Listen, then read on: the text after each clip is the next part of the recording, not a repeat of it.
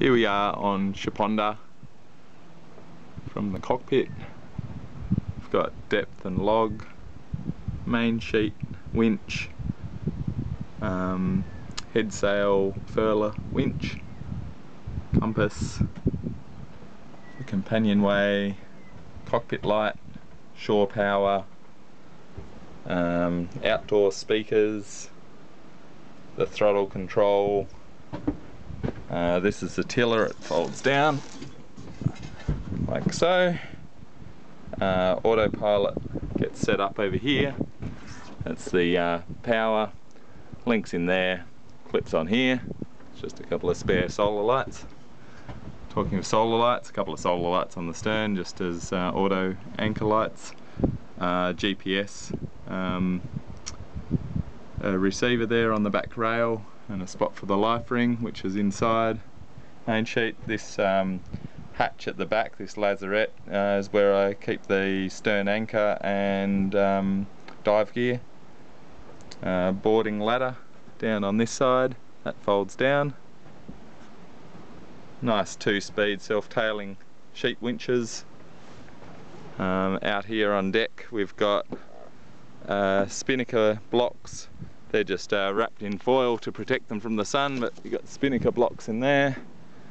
Um, this is the, the hatch through to the float. Um, we'll have a little inside tour in a minute. Uh, over here we've got the dagger board which goes down through the float.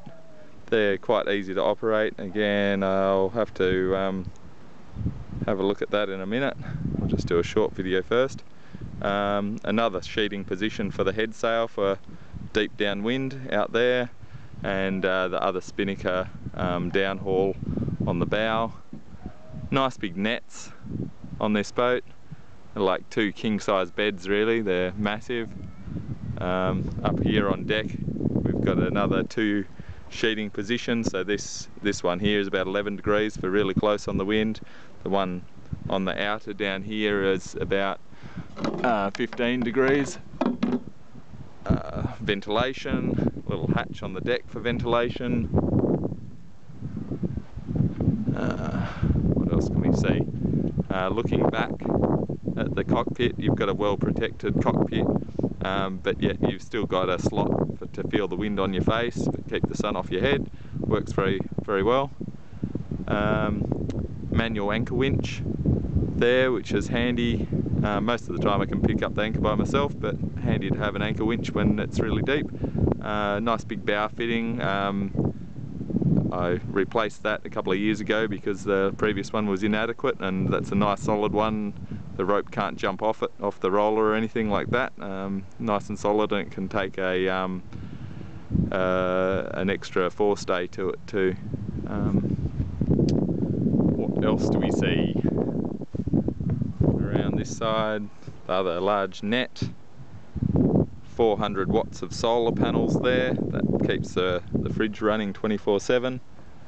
Uh, replace some of the windows there, seal them up with new perspex. Looking up at the rig, um, she's about a, what is it, like 14 metre mast. But uh, it's, um, it's rigged actually fairly conservatively. Um, she's got a vang, she's very easy to handle. I can pull that whole main up basically by hand and just tighten it with the winch. The winch there on the mast. Um, then you've got the hatch to the other float, the other dagger board. Just uh, show you how that goes. Just release the rope out from there and can just push her on down and she'll stay where she sits because she slides in carpet and the friction's just perfect. Um, very easy to put up and down. Just pull on the rope again and up she comes. So there you go, we just tie it off um, when we're sailing hard so that it doesn't drop through. Alright, around the other side on the deck, these chocks on the deck are to take the dinghy um, came with the boat. They're painted red so you don't stub your toe on them. and back around the other side there's the boarding ladder. Got loads of underwing clearance there. It's about a metre or more off the water. And here's my lovely Ruth. She doesn't come with the boat unfortunately. Uh, I'm going to keep her. Alright, well, we'll